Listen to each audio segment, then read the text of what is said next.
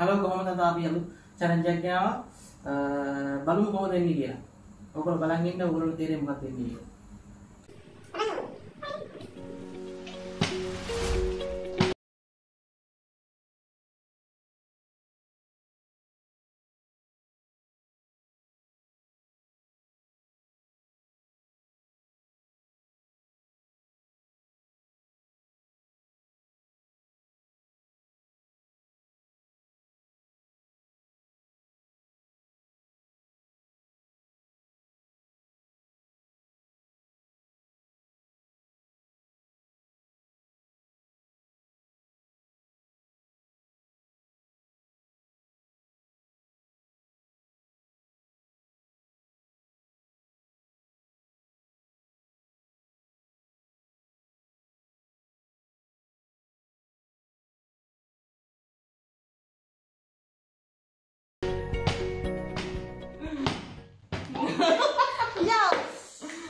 ඔන්න මේ මංගේ මේ පරාදයි දැන් ඉතින් තියෙන්නේ මවල් විස්තරන තමයි.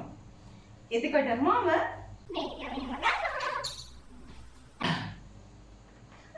ආ යන්නේ කණ්ඩායම් තියෙන්නේ.